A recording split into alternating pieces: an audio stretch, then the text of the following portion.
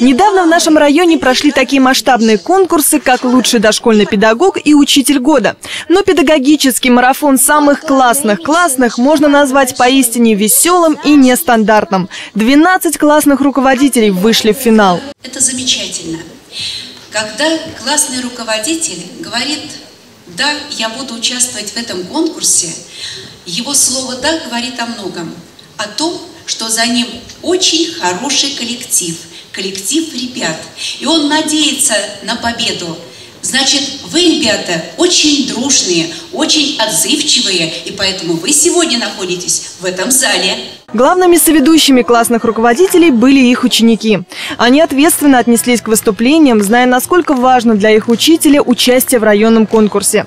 Школьники – это лучшие вдохновители для своих преподавателей. Они всегда держат их в тонусе, заставляют идти в ногу со временем, а еще у них можно подчеркнуть для себя что-то новое и взглянуть на мир по-другому, необычно и креативно. Я очень рада тому, что в нашем районе эти конкурсы проходят ежегодно.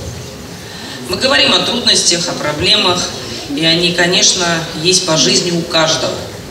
Но вот эти конкурсы, они выводят сюда на сцену, наверное, настоящих лидеров общества. Я в этом абсолютно убеждена. Первые взаимоотношения со сверстниками, поиск внутреннего «я» и самовыражение происходят в школьную пору.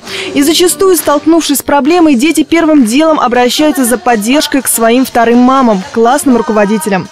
И когда в коллективе есть настоящая дружба, такая как в 11 классе школы номер 12, то это и есть залог успеха. А нет секрета, надо любить.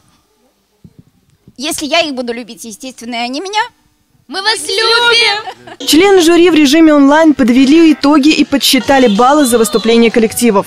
Во главе пьедестала победителей Ольга Горнова, классный руководитель третьего класса Старогородковской школы. Она подготовила со своими ребятами веселую презентацию под названием «Полет в страну мечты». В творческий процесс были включены и родители учеников, и коллеги по педагогическому цеху.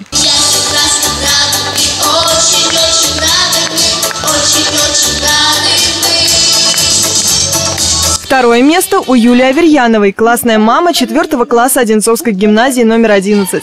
А бронзу получила Елена Селезнева из Голицынской школы номер один. Все участники конкурса награждены подарками от глав поселений и от Московской областной думы. А три главные победительницы стали обладательницами денежных сертификатов от главы района. Екатерина Старосветская, Алексей Орлов, телекомпания «Одинцова».